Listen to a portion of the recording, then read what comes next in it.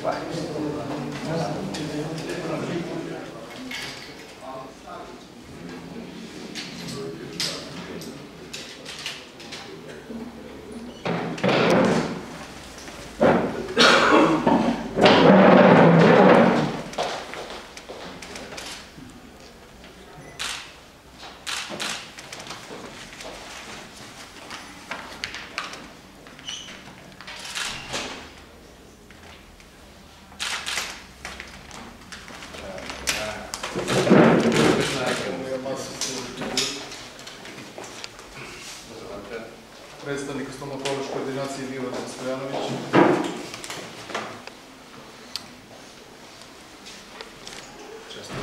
Predstavnika Aleva Andrejo Pirat.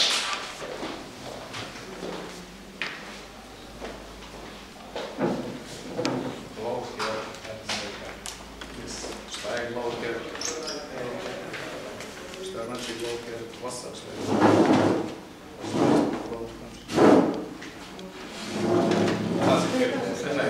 Predstavnika Leo Pirat.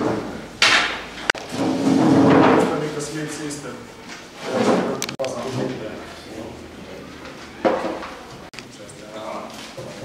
Udruženja građana Vidnije, Zeleni Zec.